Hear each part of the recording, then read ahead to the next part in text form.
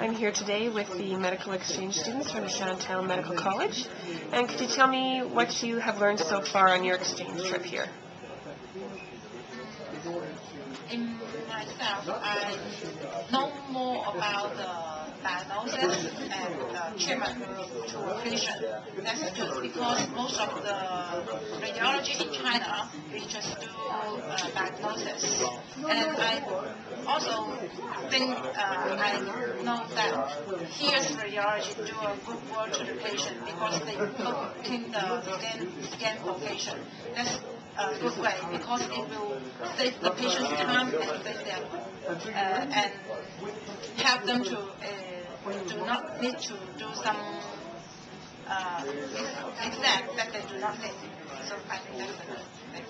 And why were you interested in coming to be part of this program here at the University of Alberta? Does anyone else want to answer that question?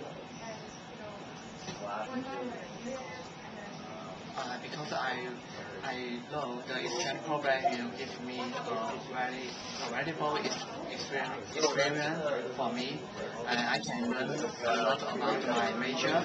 I can learn many knowledge uh, about different culture, different uh, uh, food, sports, and I can also make many friends here. Excellent. Thank you.